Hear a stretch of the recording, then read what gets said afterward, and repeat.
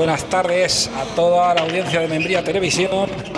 Hoy es un día para, para Membría Televisión, yo creo que, que- histórico, porque. Perdón, viene en el retorno. Bien, decíamos que es un, un día para Membría Televisión histórico. Y ustedes dirán por qué, pues porque estamos aquí en el frontón de la Sociedad Cultural La Protectora y después de muchos años sin sonar la pelota aquí en, en Membrilla, pues hoy eh, entre la Concejalía de Deportes y entre eh, los Caballeros de Santiago, pues hemos mm, querido recuperar este bonito deporte santo y seña de Membrilla. Saludamos a toda la gente que hace posible que el deporte llegue a Membría Televisión, a nuestro cámara, hoy grabando este evento con dos cámaras, tanto a Juan Vicente Moraga como a Javier Márquez. Eh, damos también un saludo a nuestro incondicional eh, reportero Pedro Rodríguez. Pedro, muy buenas tardes. Buenas tardes. ¿Cómo lo estás viviendo? Pues la verdad es que añoraba ya un partido de frontón en la sociedad desde hace tantos años y está, estoy viendo, rememorando tiempos de aquellos tú conoces mejor que yo y la verdad es que esto está bien. Pues ha arrancado, cuéntanos un poquito cómo, cómo quién son los cuatro pelotaris que, que tenemos ahí. Sí, en, en los azules son eh, Vicente Ortiz y Pedro el Moreno. Vicente Ortiz los conocemos a los dos de cuando vinieron hace tiempo, es de La Jineta y, y Pedro el Moreno es de Villalpardo, Cuenca. Eh, ya han venido aquí, Pablo también los conoce y se han mezclado entre ellos y están jugando contra los colorados que son eh, Carlos Peñarrubia, que es también de Villalpardo, y Chapi. Eh, también de la jineta son los que están jugando el primer partido eh, por parejas y el marcador es mm, para los rojos 12 a 9. Eh, 12 a 9 ganan los rojos, van a ir, la partida va a ser a 25 puntos, no es usual, no es lo normal, las, las partidas reglamentarias son a 22, se me otra vez el retorno, no sé si me escucháis ustedes, creo que he cogido el, el, el vendedor auricular que hay, espera un momento.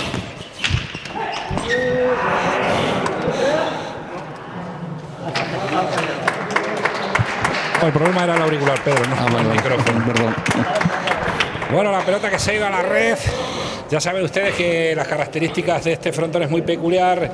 Le vamos a hablar un poquito a lo largo de esta retransmisión, un poquito de, de- de la historia de, de la pelota aquí en Membrilla. Yo no sé si sea el auricular o sea yo, pero estoy continuamente perdiendo el retorno. Vamos un poquito al juego. El juego dice que vamos, Pedro, tú lo ves desde ahí. Sí, 12 los colorados, 10 los azules. Bueno, va a sacar el moreno.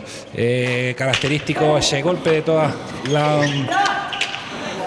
Los jugadores de, de Albacete es una especie de medio sobaquillo. Ahora se queja un poco de que la pelota la ha entrado, ha botado mal, pero la- en realidad la pelota ha salido en semifallo de la mano del zaguero colorado. Imposible levantarla.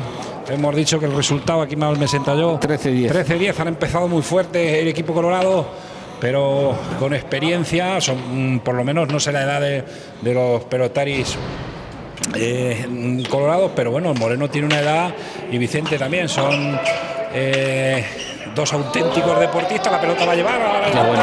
dos paredes, la pelota va a ir arriba, al ancho Qué bueno, perfecto eh. punto, muy bueno. muy bien. Vicente se ha quedado detrás. Eh, creo que los dos mm, colorados son más jóvenes, se le va a notar. Esto Sí, es un deporte donde las piernas, el, el- la condición física hace pues que los últimos puntos se pueden. Bueno, como cualquier deporte, Pedro. Sí, la verdad es que la edad se nota y también han venido aquí los dos colorados, tanto Peñarrubia como Chapi, han venido también aquí a jugar. Lo que pasa es que cuando vinieron eran, como decíamos nosotros, casi niños y ya Vicente y el Moreno eran ya más, más adultos, pues ahora se está notando. Creo que la van a volver porque 13-10 Sí, la van a volver porque ha votado mal. exacto. saque, intenta encerrarla y la saca a la derecha. Intentan siempre la gracia de este frontón, es el arco, ese arco histórico del frontón de la sociedad. Arriba la pelota, se abre un poquito, la coge de izquierda, despacito, pero la cierra. Va a intentar rematar arriba, mal le sale al ancho, intenta cerrarla al moreno. Sopapo arriba, va a abrir otro poquito, venga. Acarrea, ya con la experiencia que tiene Vicente, es Esa la, ha pegado, no tiene mucha pegada, pero sí mucha eficacia. Aquí arriba, esa ola corta, eso te vas a ver bien. Bonito tanto. Ha caído muy buena esa de Pedro, es su característico golpe del Moreno en la sobaquilla y la verdad es que muy bien, pero Vicente ha fallado esta vez. 14-10 para los colorados. Vamos, ese es un punto que frustra bastante porque cuando tú mandas al otro casi a la lona y, y se levanta, ha respondido muy bien desde, desde los balcones. Y bueno, pues la pelota la ha pegado tan sumamente bien que ha ido buscando, buscando, buscando, que a Vicente le ha sido bastante difícil. Te estás pasando muchísima envidia, di la verdad. Sí, muchas. Much- eh, sí, no, porque ya las últimas veces que uno juega, si no se encuentra físicamente, ahí buscaba el pique, como decía. Buena de los paredes, saca el aplauso de la gente que está centrada aquí en el frontón. No hay mucho público, poquito a poco ha ido yendo más gente. Vamos a los más incondicionales, hace calor, hay piscinas abiertas, pero bueno, esto seguramente va a ser la antesala de lo que vamos a ver estos desposorios. Va a sacar el Moreno, venga. 14-11, se va igualando la partida. Esa no pasa, va a No pasa, no. encerrarlo, tiene que sacar el brazo, se para. No muy ortodoxo, esa, esa se queda. Vicente no es un zaguero de llevar al balcón, pero Qué bien Pedro ahí. Qué bueno. Corte ha quedado ha cogido ha cogido el mando de las operaciones Moreno tiene pinta de hombre serio hombre aguerrido del campo y bueno la verdad que es envidiable con la edad que tiene que no la sabemos pero nos la imaginamos pues que se siga practicando deporte lo vimos ayer en esa 10K como mucha gente ya con una edad es fiel a su cita. Buena esa apertura al ancho, se le ha caído. 14-12. Se le ha caído abierto con mucha violencia. Parecía que no llevaba mucho la pelota, pero esto solo solo tiene un secreto, Pedro, y darle más fuerte que el otro. Exacto. 14-13 para los colorados. Más fuerte y resumiéndolo mucho con, con mala leche. Venga, Moreno.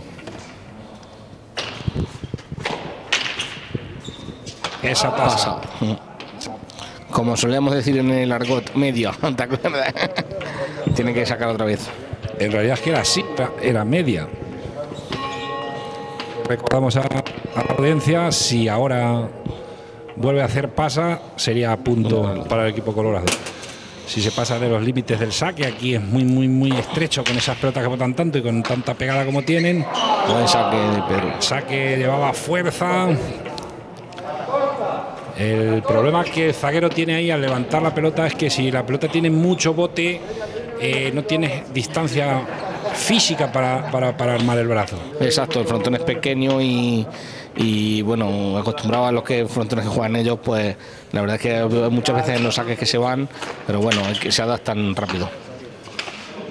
Ahora se juega mucho. Bien, el Moreno. Bien, han tomado las riendas del Moreno, 14 iguales. Tras el parcial inicial de 5-0 de los Colorados, fíjate, ahora se han adelantado los azules a 14-15, Pablo. Eso lo explicaba muy bien Vicente Berilla. Decía que se han subido los vagones. Encima de la máquina. Se han subido los vagones encima de la máquina. Está por aquí Vicente Belilla. Por ahí lo tenemos.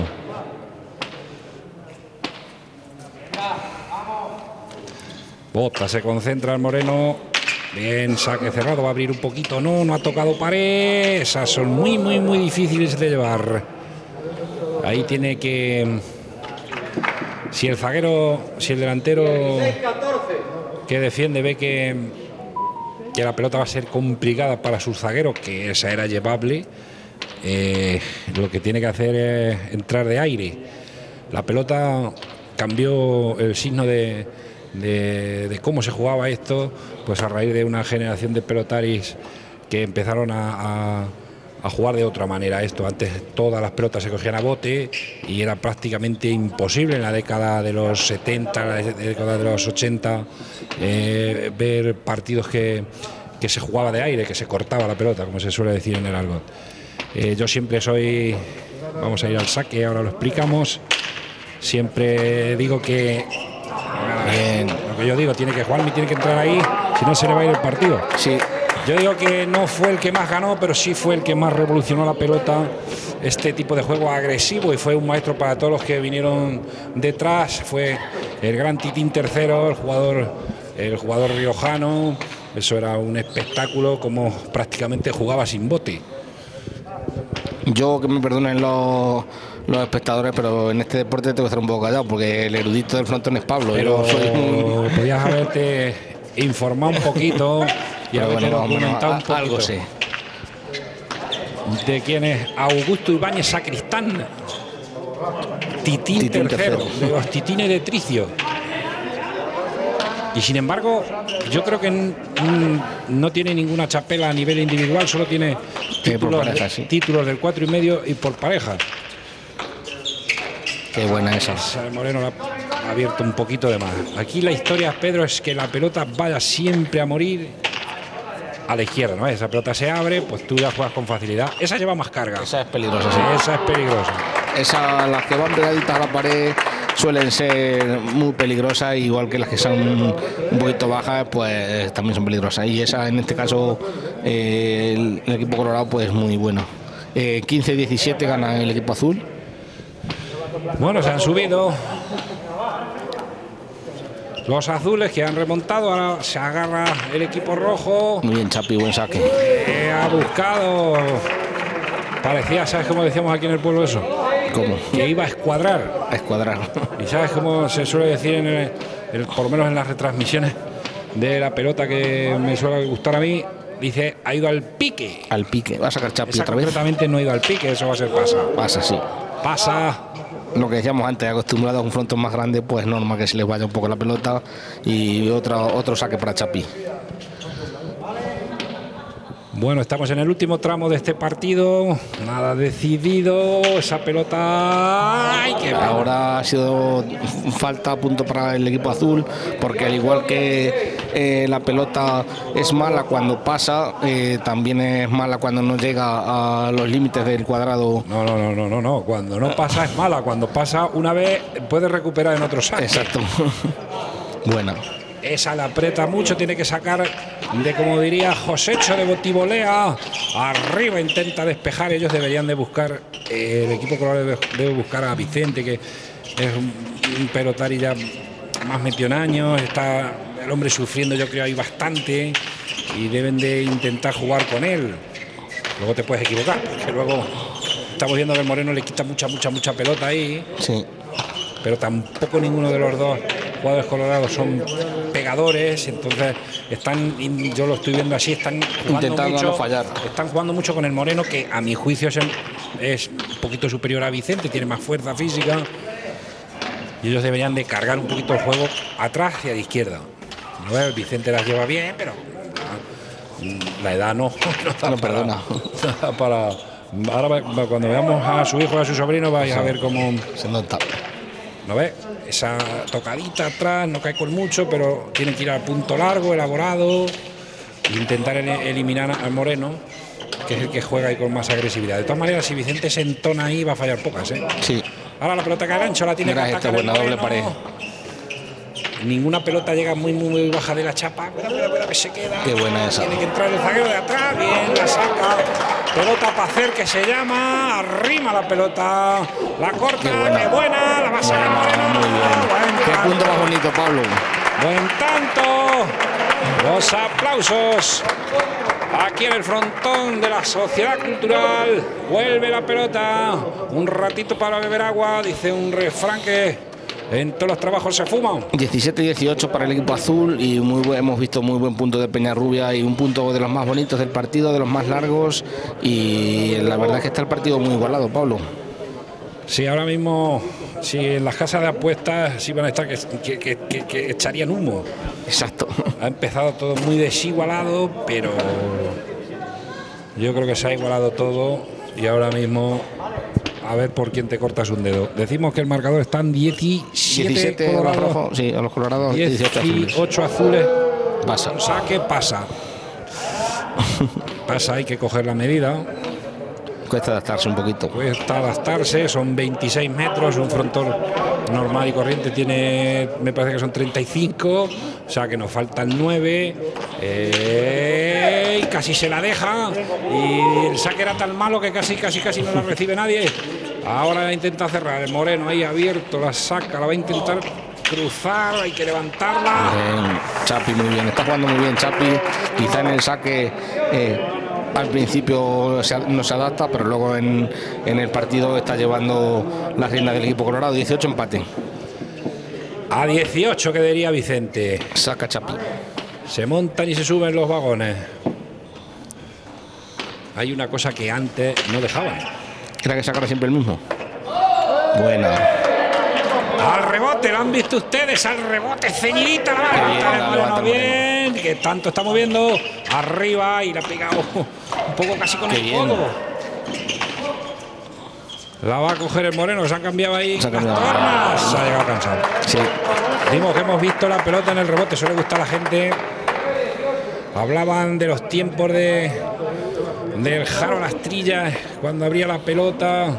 El Jaro Las Trillas, ¿tú te sabes esa historia? Yo no, la contaron ayer un poquillo así por encima, dos, de los que están por aquí, Pepillo, Chafoya y Choco, pero no, no sé quién. Es uno que venía de fuera a jugar, que arreglaba trillas y la verdad es que era muy bueno, decían.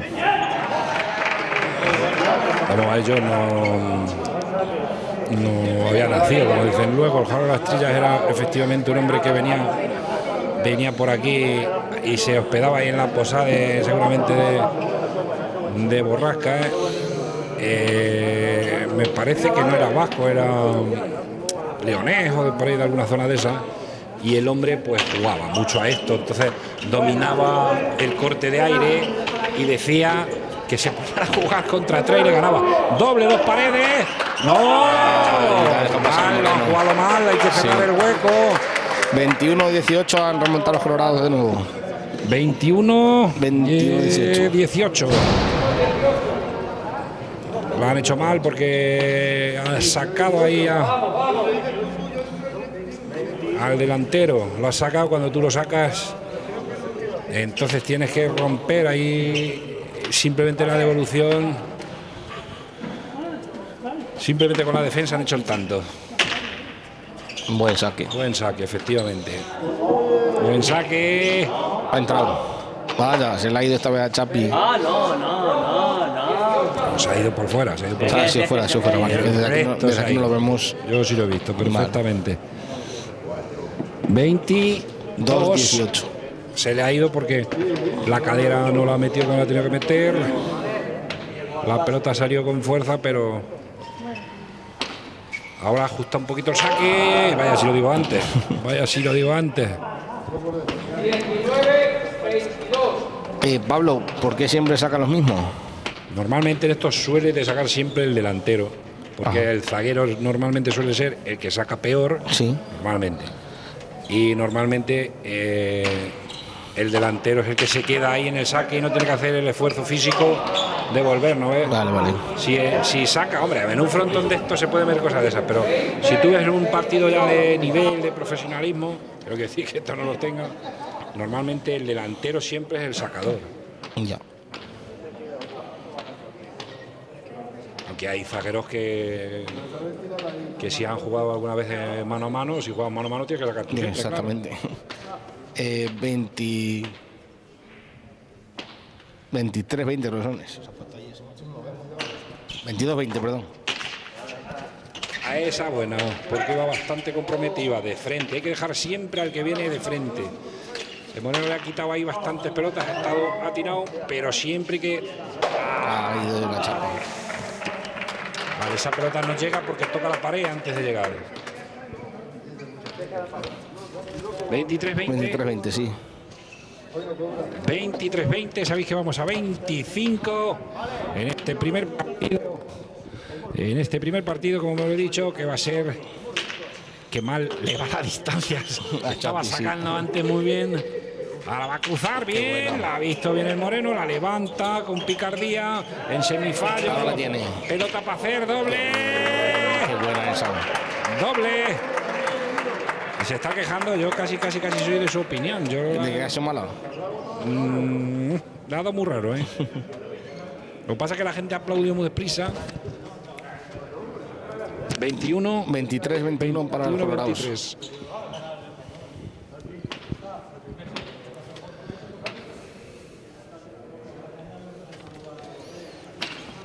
Saca el Moreno de nuevo.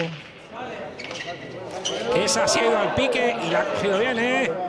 Ahora se la abre al ancho, la va a coger. Ha llegado, ha llegado, ha llegado. Eso es lo que está diciendo la gente, la ha visto, la Ha pelota ha sido Chapi, buena. Sí, ha intentado Chapi llegar bien y, y ha estado ahí muy bien el Moreno. 23-22, otra vez igualado. Aquí Pablo, mm, si tienes que ganar de más de dos, o no, el que llega a 25, ¿no? Eso es para otros deportes más feos que este. Aquí gana el que llega antes al punto que se acuerda. Exacto. Se hace el silencio. La bota. A ver, el Moreno es un especialista en el saque, ¿te das cuenta? sí. Eh, Chapi saca algo, algo peor a mi juicio. El sobaquillo es que te da, te da mucho eso, ¿sabes? Si tú te abres.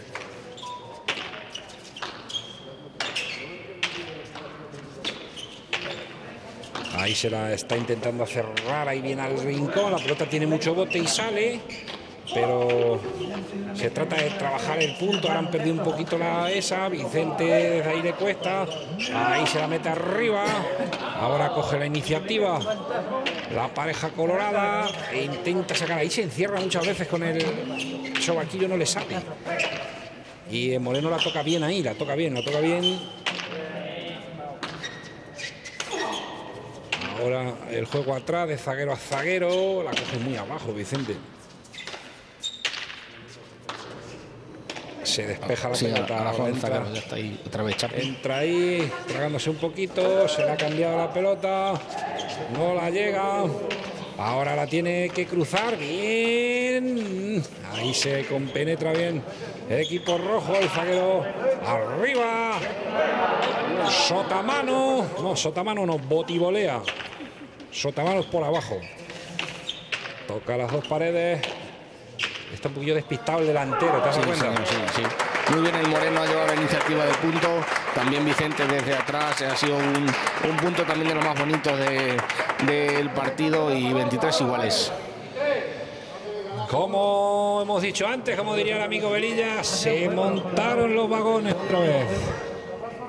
Bueno, ahora mismo no están montados, están nivelados. Suena el reloj de la plaza. Pedro Antonio. Las 8. Y estamos viendo en la reserva ahí como espectadores a los próximos jugadores que son Raúl Ortiz tercero y Vicente Ortiz, no, Raúl Ortiz cuarto y Vicente Ortiz tercero de la saga de los Ortiz. Ahí los tenemos, Pablo, tú los conoces mejor. Efectivamente. Vicente es hijo de Vicente, que está jugando ahora mismo. Y Raúl, es su sobrino. es sí. su sobrino es hijo de ese hombre que también ha venido aquí a jugar muchas veces, ya lo tuvo que dejar. Manolo. Eh, Antonio. Ah, Antonio, sí, eso, Antonio, eso, perdón.